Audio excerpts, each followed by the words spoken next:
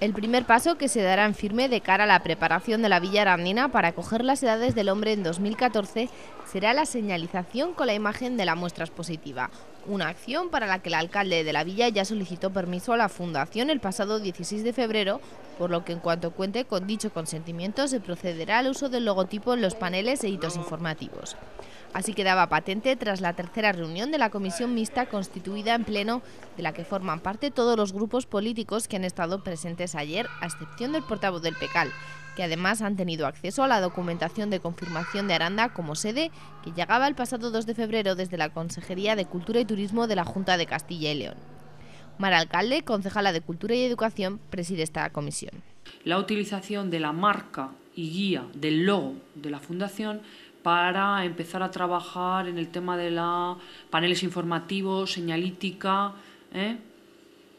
Eh, hitos informativos dentro de nuestra ciudad. Entonces, una vez que la Fundación nos conteste, pues empezaremos a trabajar. Va a ser la primera eh, actuación inmediata para empezar pues, con el tema de señalizar, de informar y a la vez, bueno, pues concienciar y sensibilizar a todos los que residimos en Aranda de otros ciudadanos que en el año 2014, pues bueno, que ahora parece muy lejano, pero está a la vuelta de la esquina. Asimismo, durante el encuentro se han puesto sobre la mesa ideas en torno a posibles acciones a desarrollar antes de 2014, como la puesta en marcha de equipos de voluntariado, nuevos aparcamientos, la cobertura de la demanda gastronómica, para la que se pedirá el apoyo de ASOAR, así como la oferta turística de la ciudad, basada fundamentalmente en el patrimonio único que suponen las bodegas subterráneas de Aranda. Se han plasmado distintas ideas, se han puesto encima de la mesa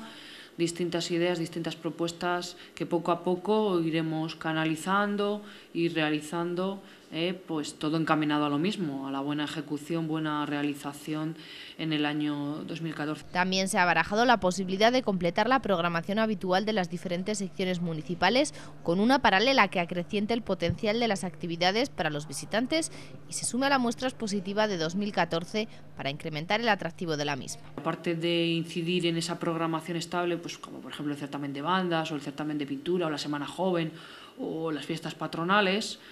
aparte de todo eso, de, Fiduero, en fin, de un montón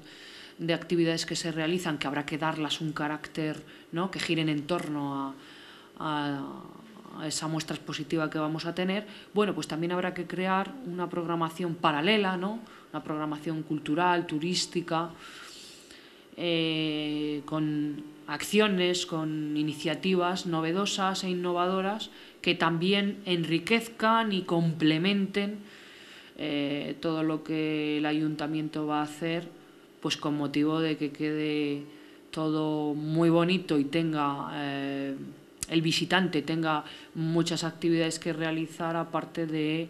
evidentemente ver la muestra. ¿no? Adelantaba Mar Alcalde que en el borrador de los presupuestos para el ejercicio 2011 se contempla una partida de entre 6.000 y 10.000 euros para las edades del hombre, mientras que la figura jurídica de optar para este evento la escogerá la próxima corporación municipal.